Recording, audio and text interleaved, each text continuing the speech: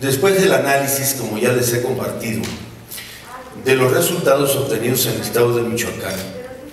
derivados del Acuerdo Nacional para la Modernización de la Educación Básica, signado en el año de 1992, así como del Convenio de Coordinación para la conclusión del proceso de conciliación de las plazas transferidas, suscrito en el año 2014, del cual se derivó la operación del Fondo de Aportaciones para la nómina educativa y gasto operativo FONE, el gobierno de Michoacán, que yo encabezo, ha tomado la determinación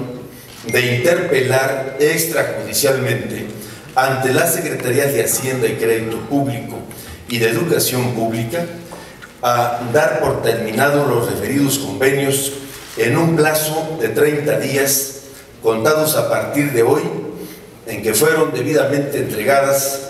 las respectivas notificaciones ante las instancias competentes. Terminación que incluye el reintegro al gobierno federal de los servicios de educación básica federal, así como los de fuente de, financiamiento estatal. Lo anterior, debido a que las diversas modificaciones al acuerdo original, tanto en la distribución de los recursos como en la operación de los mismos,